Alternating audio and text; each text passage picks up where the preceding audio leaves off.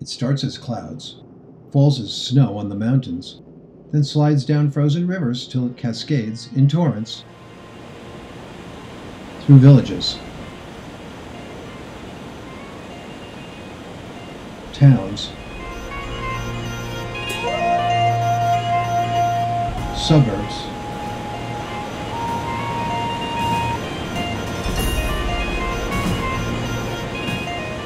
past cities,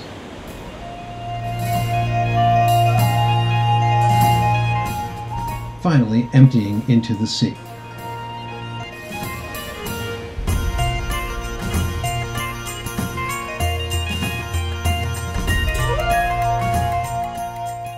It's where we came from, and it draws us together.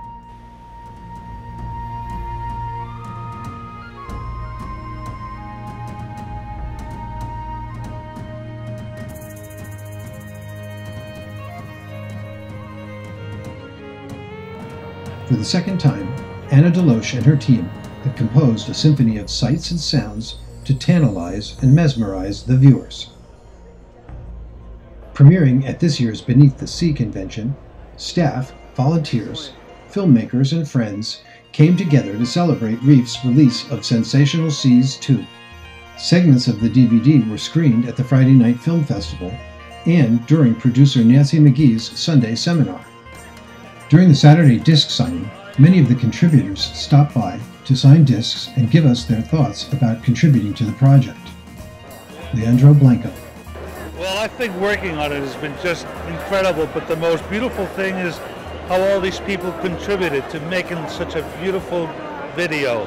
And it, I think it's more than just a DVD. It's their feeling. It's their it's their way of telling people how we have to care about the ocean. Original concept of uh, Sensational Sea started in a number of years back when Anna and I were, uh, my wife Anna and I were traveling around, and people kept showing us just incredible video footage. And we said, well, how can we ever see this? And there really wasn't an outlet for two and three minute segments of just some amazing animals.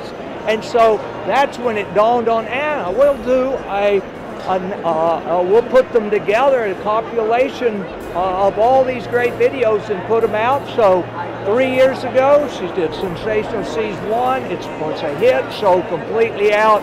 This time, uh, it's even better and uh, has greater animals and greater footage. I first became aware of Sensational Seas when the first DVD was released, and I was really just getting started doing professional level video.